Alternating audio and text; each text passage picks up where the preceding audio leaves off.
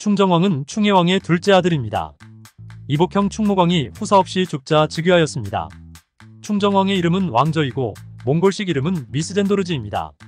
1338년 충수광 후칠에 충혜왕과 희비, 윤씨 사이에서 태어났습니다. 충정왕은 고려의 제30대 왕으로 1349년 충정왕 원년부터 1351년 충정왕 3까지 왕위에 있었습니다.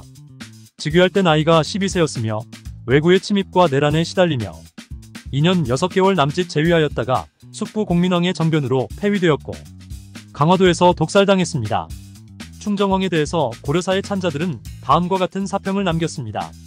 충무광과 충정왕은 모두 어린 나이에 즉위하였던 까닭에 덕령공주와 희비가 모친임을 내세워 안에서 권세를 차지하였으며 간신과 외척들이 밖에서 권력을 휘둘렀으니 두 임금이 비록 뛰어난 자질을 가졌다고 한들 무엇을 할 수 있었겠는가